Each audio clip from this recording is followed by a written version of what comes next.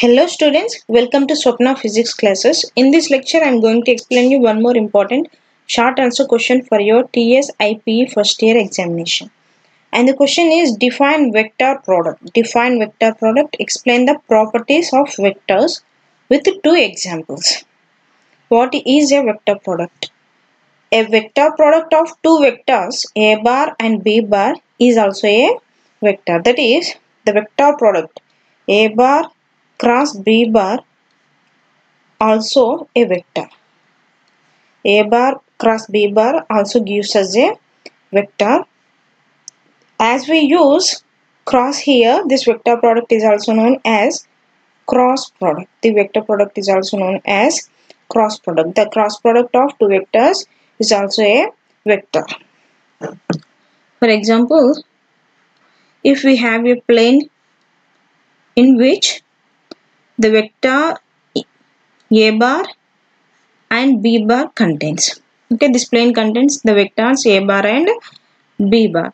The direction of this vector c bar is given by the unit vector given by the unit vector that is n cap okay and this vector c bar will be perpendicular to the plane which contains a bar and b bar.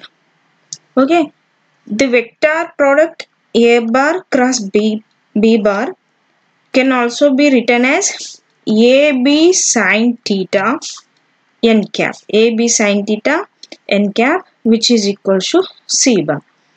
The product of the magnitude of these two vectors into sine theta where theta is the angle between these two vectors and n cap is the unit vector where n cap is the unit vector which gives us the direction of the vector c bar. Okay? This unit vector gives us the direction of this vector c bar.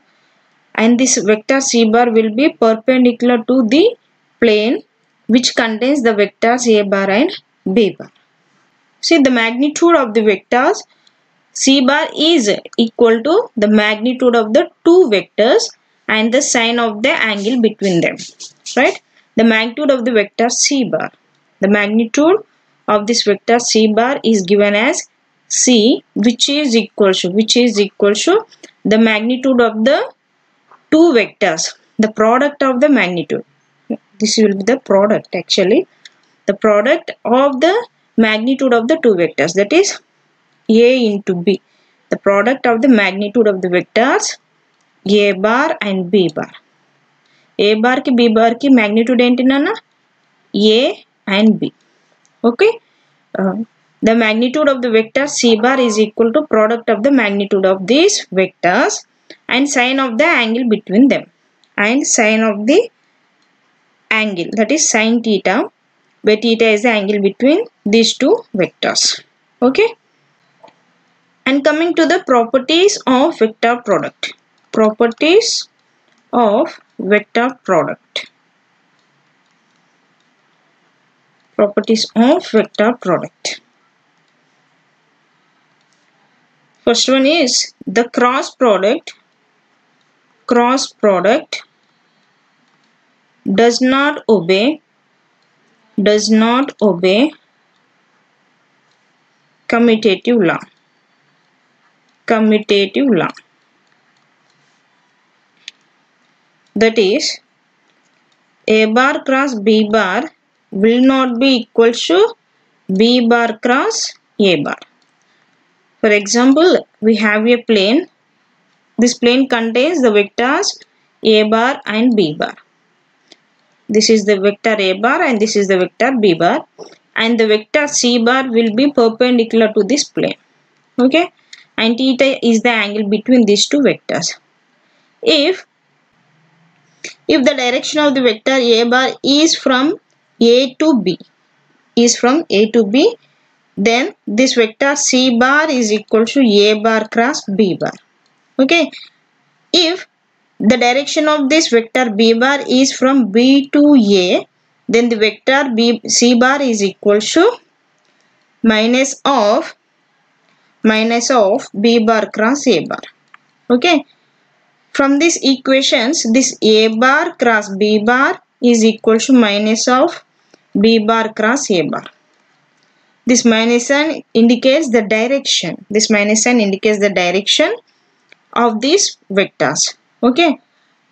As the vector product a cross b is opposite to the direction of the b cross a the cross product doesn't obey commutative law okay. And coming to the second property vector product vector product obeys distributive law distributive law distributive law with respect to with respect to vector addition vector addition. This can be written as a cross of a bar cross of b bar plus c bar okay? The vector product with respect to vector addition. That means the product between the vectors and the addition between vectors okay? The product of the vectors with the vector addition obeys distributive law.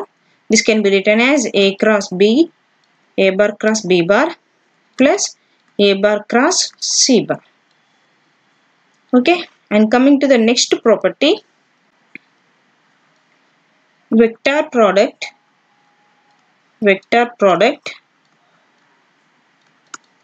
of two parallel vectors of two parallel vectors of two parallel vectors is a null vector is a null vector. That means if both the vectors a bar and b bar are parallel to each other then the angle between these two vectors will be equal to 0 therefore sine 0 will be equal to 0 sine 0 will be equal to 0 then the vector product of these two parallel vectors will be equal to 0 this is known as null vector. Null vector. Null vector means the magnitude of the vector will be equal to 0 okay?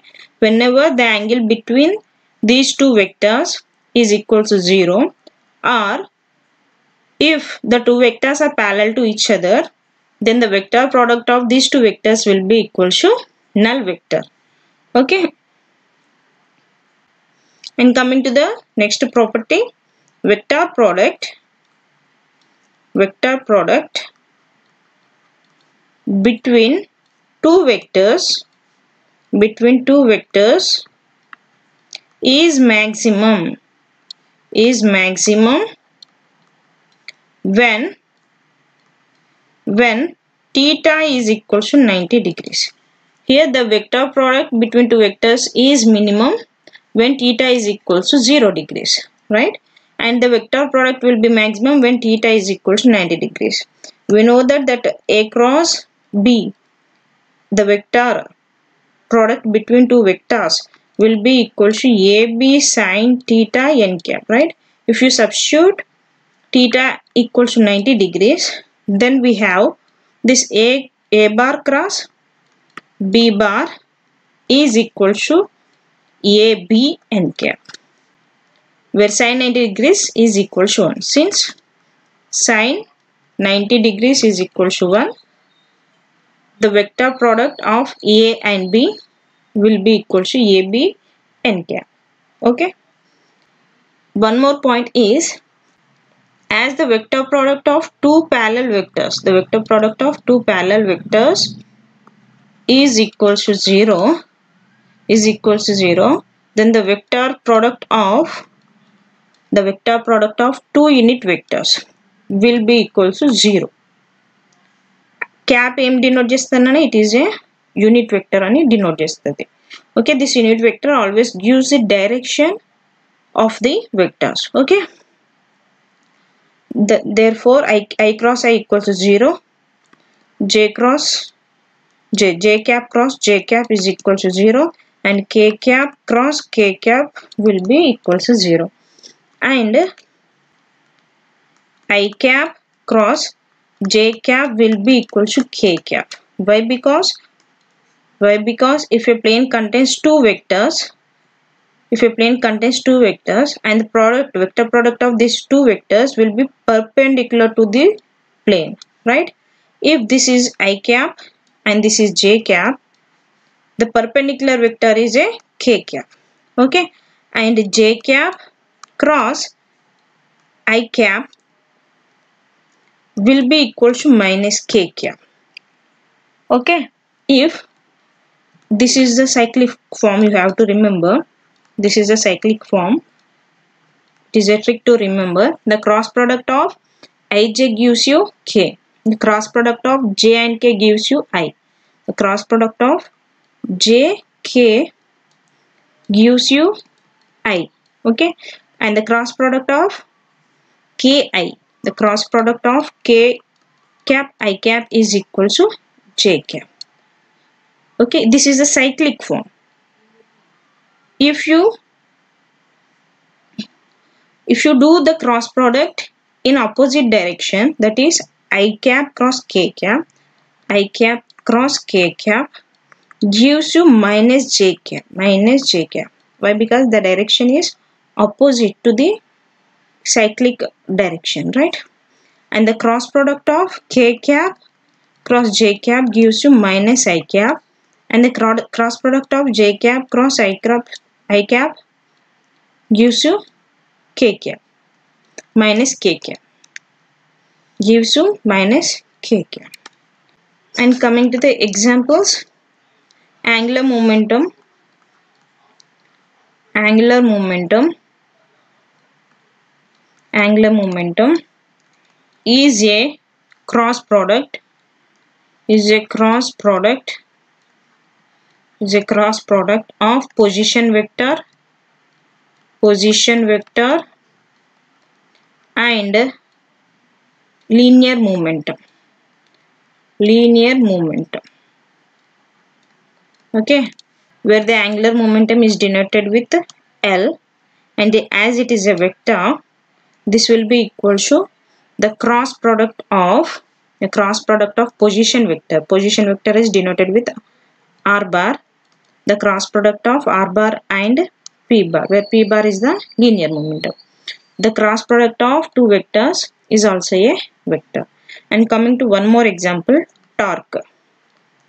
Torque is a torque is a cross product cross product of the position vector the position vector cross product of the position vector r bar and force. Force f bar. Force is also a vector and position vector is also a vector. So the cross product of r bar cross f bar gives you a torque which is denoted with tau. Torque is a vector the vector product of position vector and force gives you the torque. These are the examples for vector products and here I will end our lecture. Whoever didn't subscribe to my channel, please click on subscribe button and also share with maximum number of people. Okay, bye.